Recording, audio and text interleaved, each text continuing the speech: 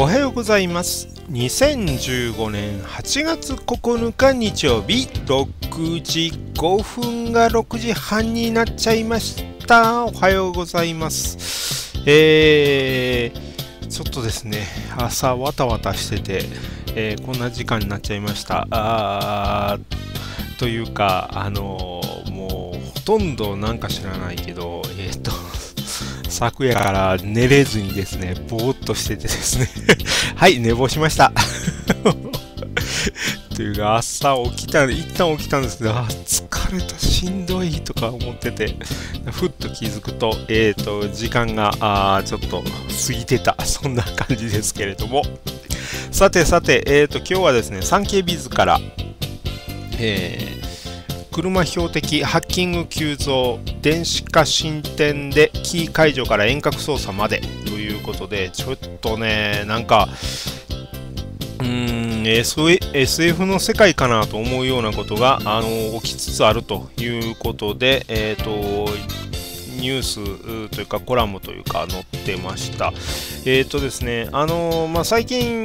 車のキーってもう電子ロックになってますよね。そのえーと、昔昔というか今でも使えるのは使えるんですけれどもあの鍵をドアのところにガコッと差し込んでガチャッとこうロックしたり外したりとかいうのを、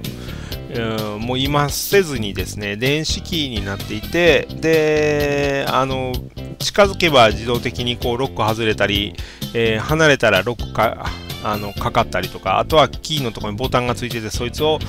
ポチって押すとロックしたりとかロック解除したりとかそんなあの簡単なのがあついてますよね。ところが今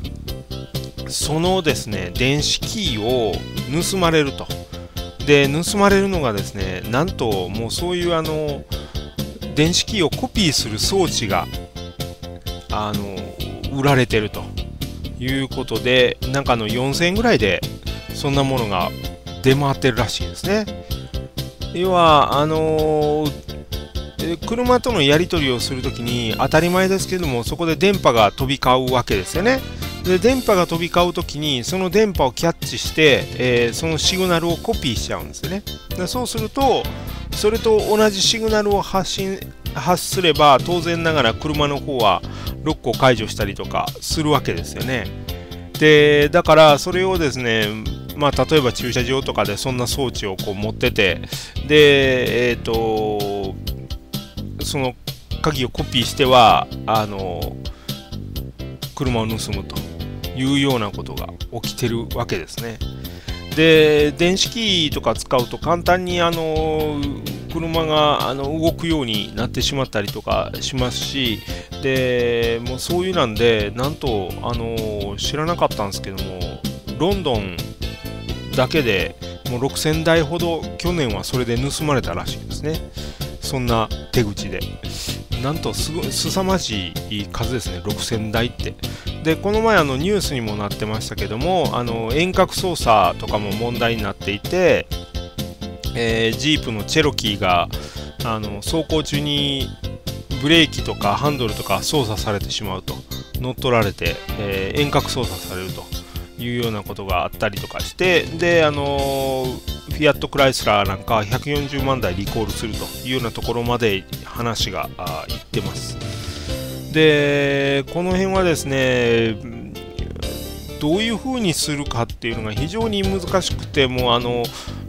パソコンとかのネット犯罪と同じでですねもういたちごっこになっちゃうんですよね。どんどんセキュリティレベルは上げていってもそれのセキュリティホールをついてくるやつらが出てくるわけですしでまたあの車の場合は面倒なのがアップデートがそう簡単ではないと。でパソコンなんかのようにパソコンとかあるいはスマホとかのようにアップデートをしていくっていうのがそう簡単にはこうできてないというかですねそれはまあこれからいろいろ作られていくんですよけどもでもその辺のネット接続とかがそう簡単にこうできるような環境にあるのかまたそれができるようになればなるほど今度そこに今度常にネットにつながるという危険性を今度は出してくるわけですね出てくるわけですよね。だからこの辺りが本当その頭の痛いところになるんじゃないかなと。で、えー、その海外のそういう警察によるとですね、逆にあの、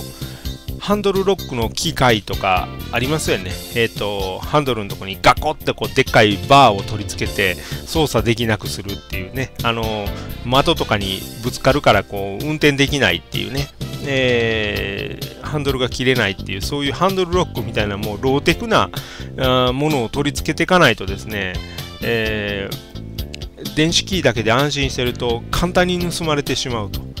いうようなことが起きてる。なんとも難しいところかなと。で、まあそこから考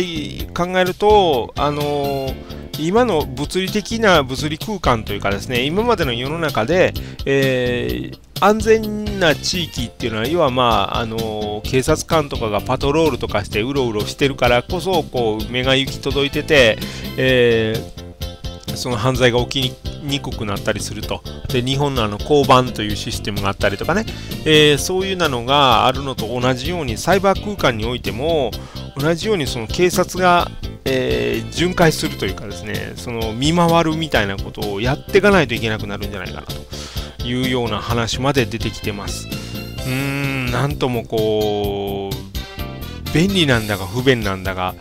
あすごい難しいことにだんだんなってくるようですね。で、まあ、これはあの自動車に限らず、これからあの IoT って言われるインターネット・オブ・シングスっていうね、もののあのインターネットと言われるように、ありとあらゆるものがネットにつながっていくようになるんで、そうすると目に見えないそのサイバー空間は無法地帯というか、あになるがゆえにそこにですねいろんなあの警察とかが巡回をするというね、そのいろんなセキュリティのチェックをするとか、そこに流れるトラフィック、データとかそういうもののチェックをするとか、なんかそんなことまでこうやるような時代になるのかなと。で、まあそうなればそうなるほど、今度一方でインターネットイコールこう自由な世界っていうのを大好きな人たちがやっぱりいるので、えー、まあそことのこのまたね、え、警察との